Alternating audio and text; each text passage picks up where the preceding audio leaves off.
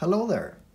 You're watching Wilhelm Miniatures and in this video I'm going to continue working on my Dark Mechanicum army by painting the Nurgle battle servitor that we kit bashed last time.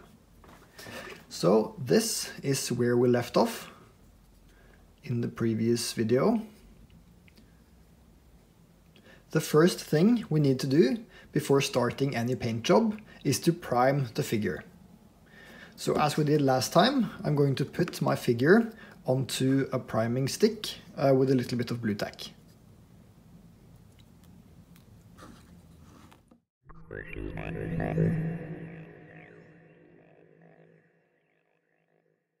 Yes, today I want to try something a little bit different when it comes to priming.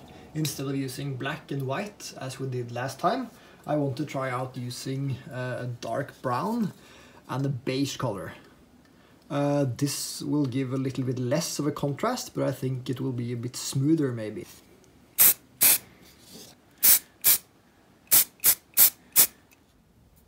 Okay, the primer has dried and we're back upstairs, which means that it's time for paint. Here you can see the result from the primer. It looks pretty smooth. And we also have this nice color transition from light to dark. It's not as extreme as in the last video where we used black and white. However, this is, uh, is a quite nice base to start uh, as we're going to paint it quite similarly as we did the other ones. Uh, but it's fun to try some different colors from time to time and see if you can achieve different results using different primers and different, uh, different types of paints. To start, we're going to apply some white to create some uh, pre-highlight and texture before we add the actual colors. I'm going to apply this uh, using a brush. Uh, I'm going to mix the way I apply it by a little bit of dry brushing, a little bit of stippling, and also a little bit of edge highlighting. I'm also going to use a sponge to create some textures.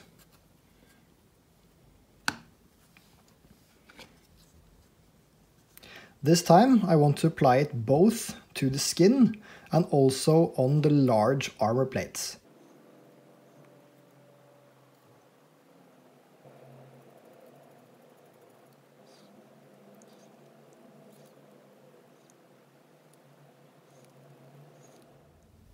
Now we're going to apply some color to the skin.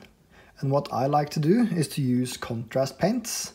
Uh, what I usually do when I use contrast paints like this is that I open a range of uh, colors so that I can mix them directly onto, uh, onto the skin to create some nice uh, color variations directly onto the figure.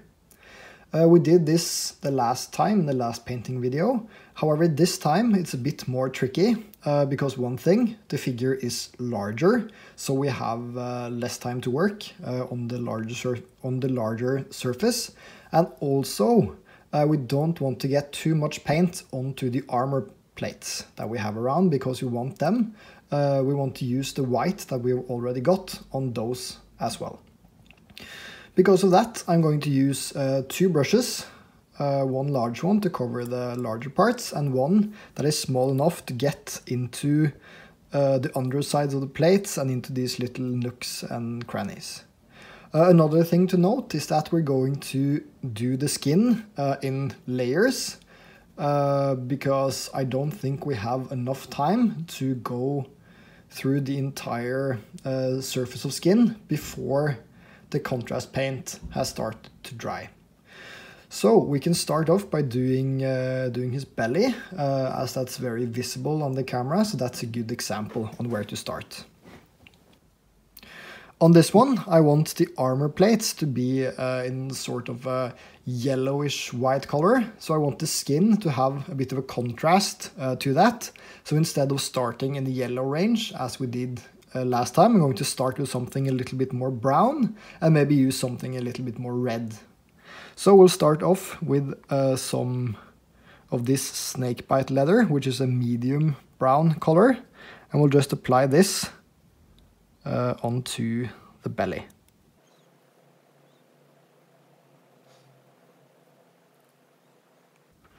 little bit of green.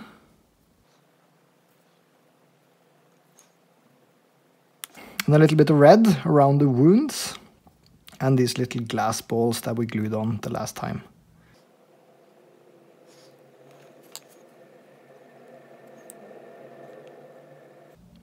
Okay, let's use some of the medium as well to soften the colors a bit.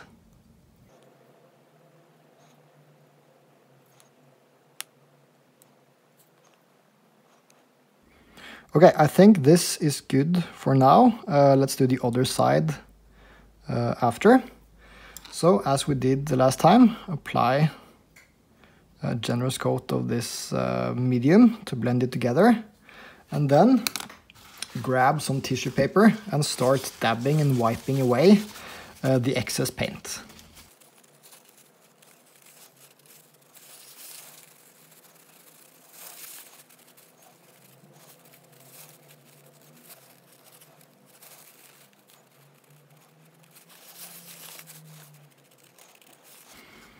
Okay, let's uh, work in some more color on the other parts of the skin. Uh, on the top here, between the belly plate and the collar panel, we're definitely not going to be able to get the tissue paper uh, in there. So what we can do is just have a little bit more of the contrast medium before adding some color to have it a bit softer, because we're not going to be able to remove this. And of course, you will, from time to time, hit hit the pieces we want to be uh, white, uh, the armor plates, uh, but that doesn't matter too much. We can go back and fix it, but try to keep, uh, keep this to a minimum. For example, on the face there, we're definitely not going to be able to get under, under there without getting anything on the collar. We also want it to be a bit dark uh, around the head to, uh, to make a bit of shadow. So that's going to be, uh, yeah, we're going to spill a little bit.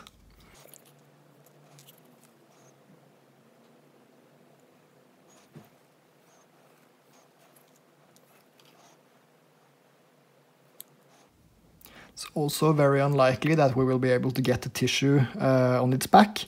So here as well, uh, use a little bit more of the contrast medium to have the color a bit softer. But this is of course a part that's going to be in shadow because it's under the backpack uh, on the back side of the miniature. So we want this part to be a bit darker anyway. The same on this side. It is going to be uh, yeah, hard to, to reach. We want it to be dark, so this is actually fine.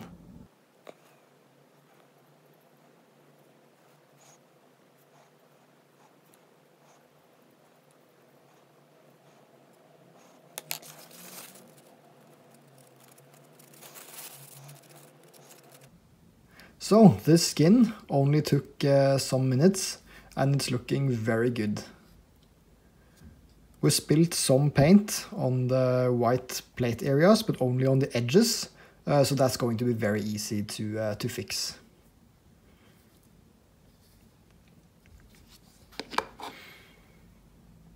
While we wait for the skin to fully dry, we can start applying a little bit of battle damage to the uh, armor panels.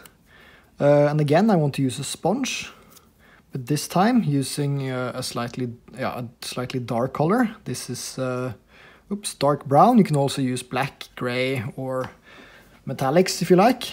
Uh, this is just to have something that's a dark contrast compared to your base color of the plates. So just uh, remove some of the paint and then start dabbing it lightly on the edges of the armor plates be careful not to cover the uh, parts of skin that we just did. Now I'm going to tint the armor plates uh, with sepia to make them a little bit yellow. However, we still want them to be a lot lighter than the skin, so it's important not to overdo this.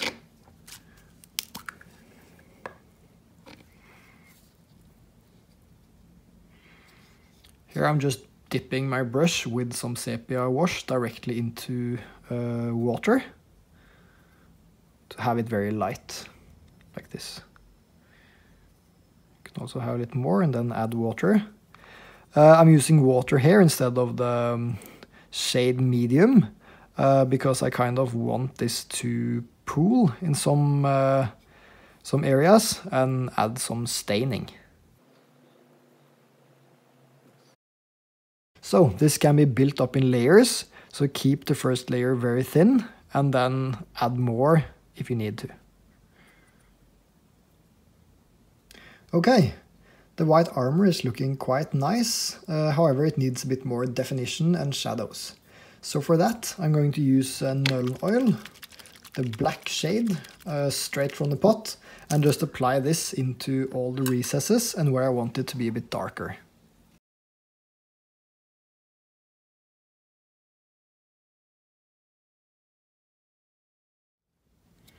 Before applying a highlight to uh, the skin and armor plates, uh, I think it's an idea to base coat everything else. That is the metals uh, and the tracks and the cables and all the small details with brown.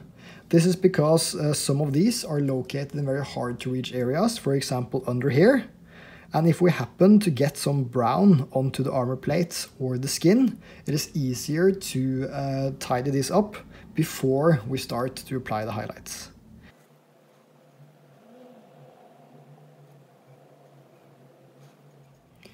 Ooh, we're finally finished applying all the brown.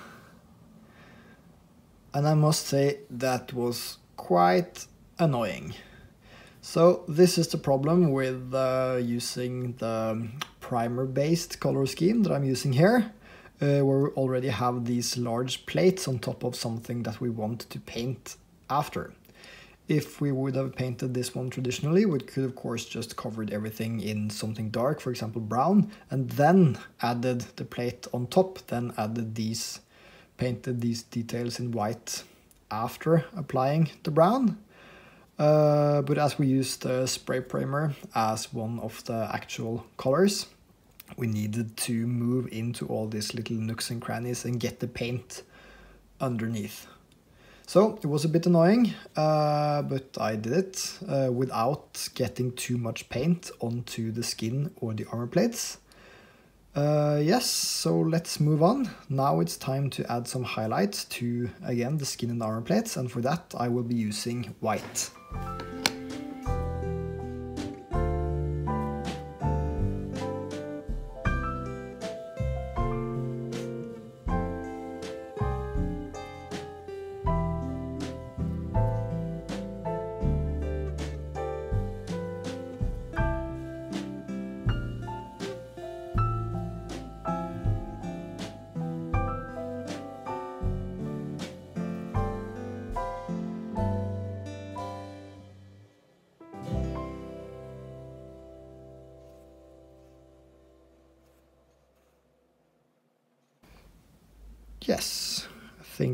Worked uh, pretty good. I also really like the belly at this uh, point. I might have seen that I didn't only, uh, yeah, I used the brush a bit to add some extra detail, making some little uh, dots here and there. Not just where we have the glass balls, but uh, all around on the skin to give it a little bit of texture also on top of this. This also helps to distinguish it from the armor plates.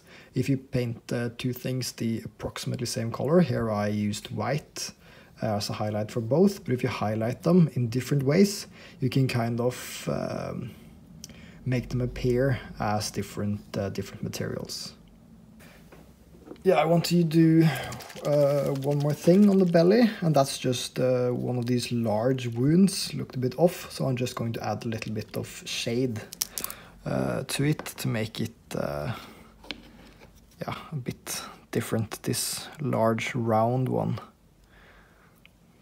looks a bit better now. And I might as well do that uh, on the other holes as well, the holes with the little uh, yeah. I'm just going to go around using a little bit of this on all the belly wounds so that they have a slightly different color than the main skin tone.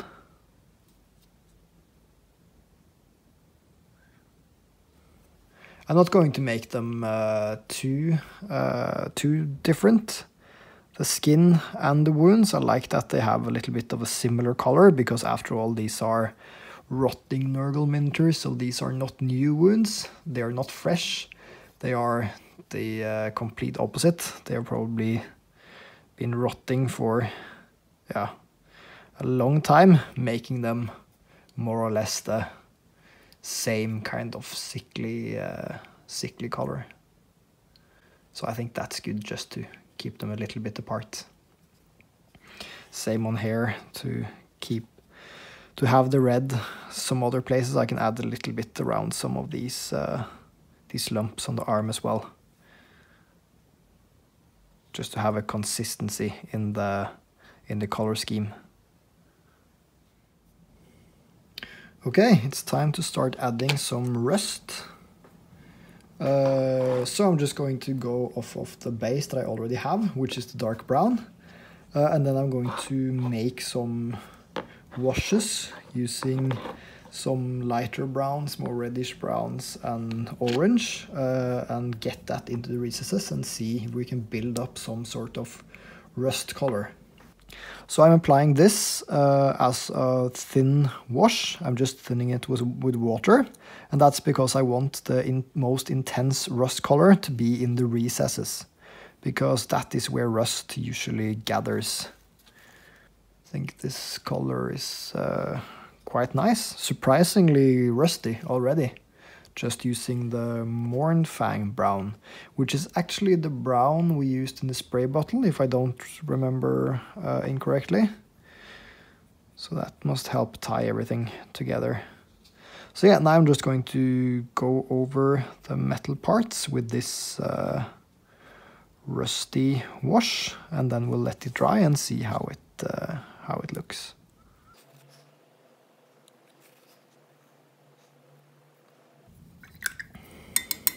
We can also start adding a little bit of the rust effects uh, using the same colors, the Mournfang brown, straight onto the armor panels.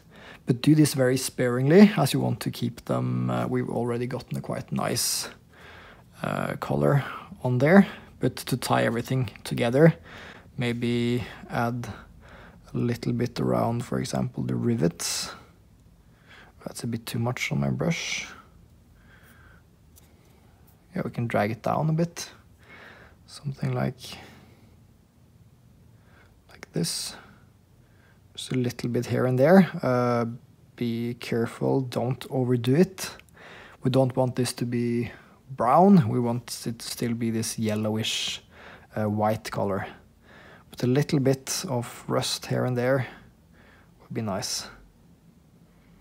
Maybe some rust streaks from where we made the the paint chips.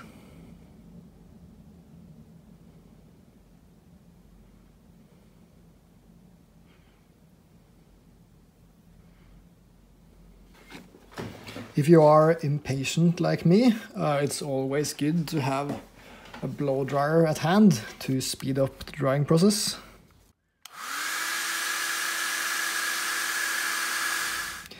Uh, I found a different orange uh, that hasn't dried up compared to the previous one.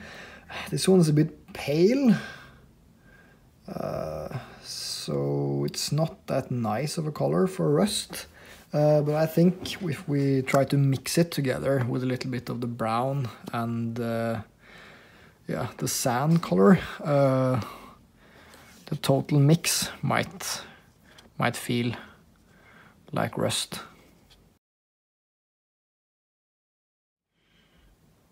Now that the last layer of rust has dried, I think the rust, uh, the rust effect is starting to look very good.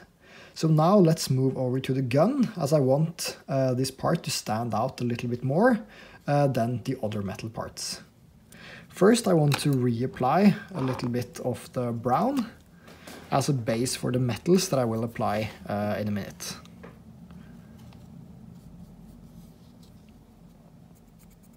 First I'm just dry brushing the surface with brown, leaving a little bit of the rust in the recesses. uh, more brown towards the very end and less the closer to the body you get. Something like this, I think. I wanted to be a transition between rusty and very metallic at the end, as if uh, the rust is kind of cleaned when it uh, fires. I don't know why that would be, but maybe it heats up, uh, so you can see some kind of transition. That's the effect I want to uh, want to try out.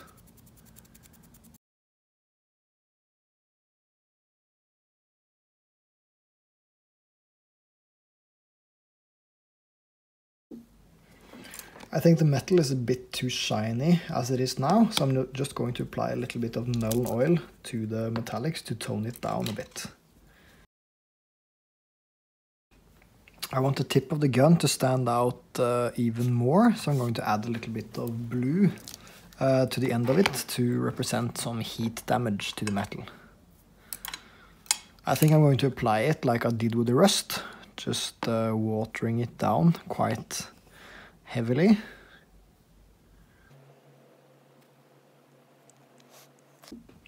Now that we had the blue ready, I think I just want to apply it uh, in some other areas to have a bit, little bit of variation uh, back here.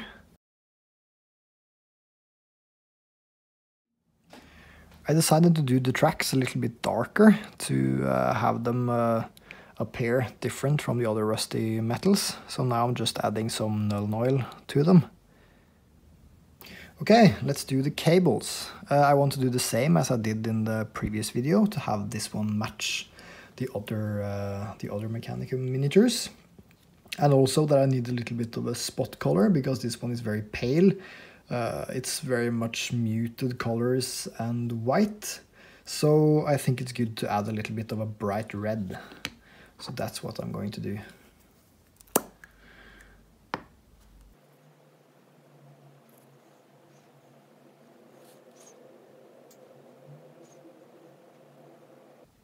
I'm highlighting the cables with pure white.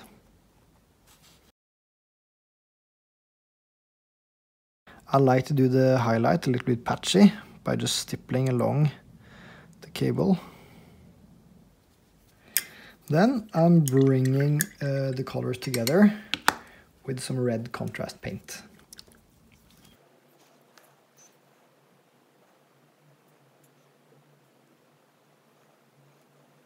Now that we already have the red contrast paint open, I think I'm going to go for a red lens on this helmet.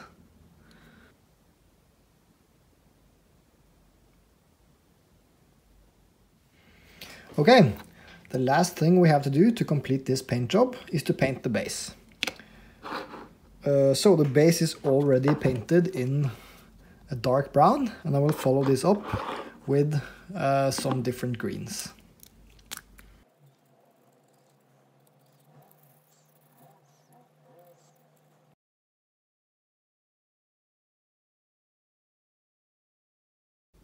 To highlight the different textures on the base a little bit, uh, I'm just going to add a very light dry brush of this bone color.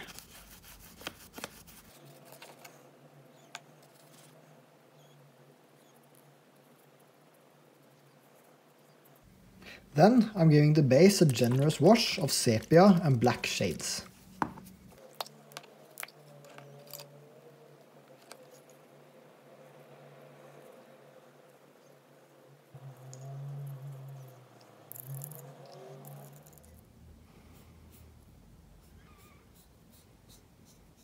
Now that the Dark Mechanicus Nurgle Battle Servitor is finished, we have reached the end of this video. I hope you found it useful and that you will be using some of these painting techniques in your own miniature painting. Please like and subscribe, and if you would like to see more of my miniature projects, you should consider following me on Instagram and Facebook, which I will link below. For now, enjoy these glamour shots of the Battle Servitor.